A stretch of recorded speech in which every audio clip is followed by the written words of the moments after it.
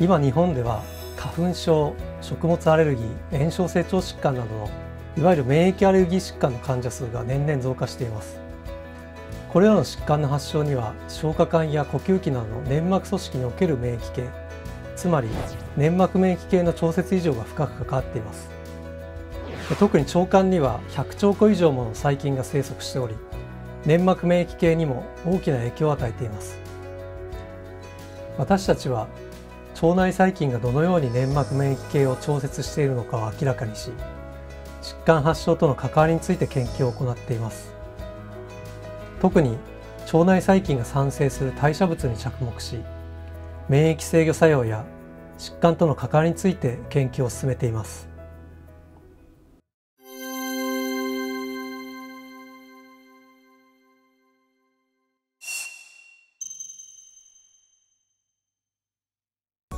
私たちはこれまでに腸内細菌が産生する短鎖脂肪酸という代謝物が粘膜免疫系において炎症やアレルギーを抑制する制御性 T 細胞を誘導する事実を見出してきました。そのメカニズムとしてエピゲノムと呼ばれる遺伝子制御機構に腸内細菌が影響を与えることを初めて明らかにしました。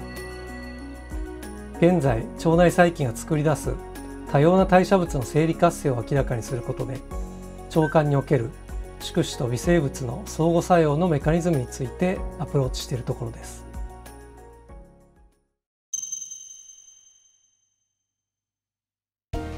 腸内細菌は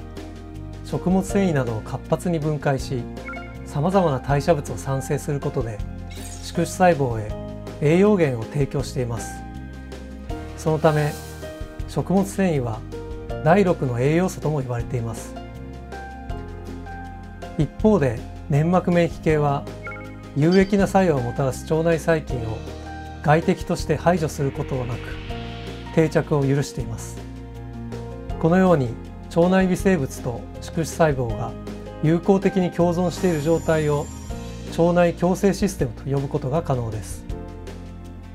私たちの健康状態はこの腸内共生システムによって健全に保たれています。